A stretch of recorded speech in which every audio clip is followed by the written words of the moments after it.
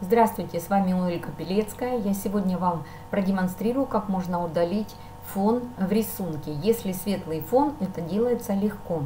Допустим, мы на сайте компании выбираем э, нужный нам рисунок. Изображение, допустим, геля. Да? Копировать изображение, это правой кнопкой мышки мы нажимаем функцию вот таким вот образом, а потом выбираем копировать изображение. Я переношу его в презентацию PowerPoint, вставляю.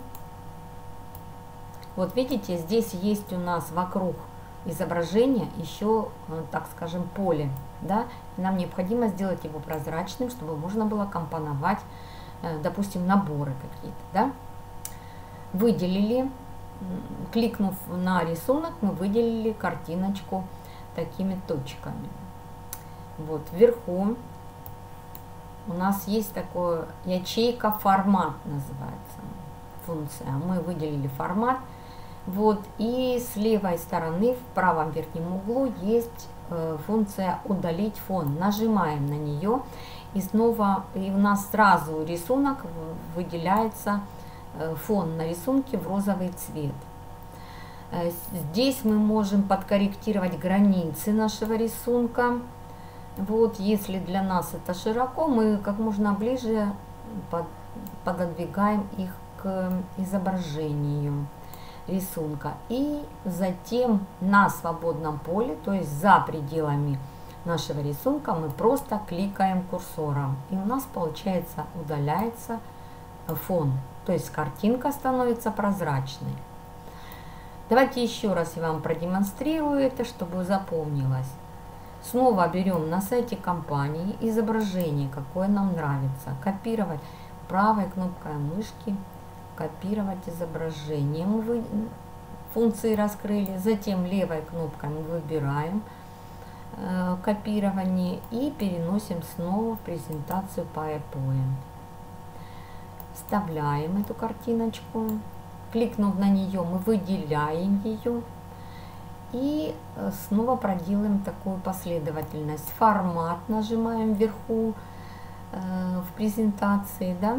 Затем с левой стороны в правом верхнем углу есть функция удалить фон. Мы на нее тоже кликаем и выделяется у нас на рисунке рисунок, то есть выделяется вот таким вот образом в розовый цвет поле окрашивается. Но здесь есть помехи, в отличие от предыдущего рисунка.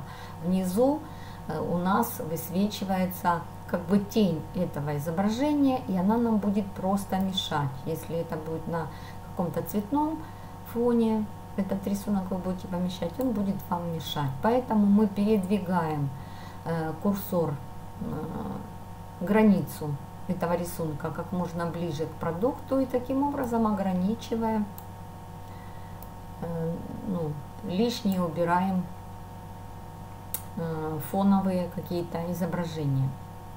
Снова кликаем за пределами рисунка и снова у нас удалился фон.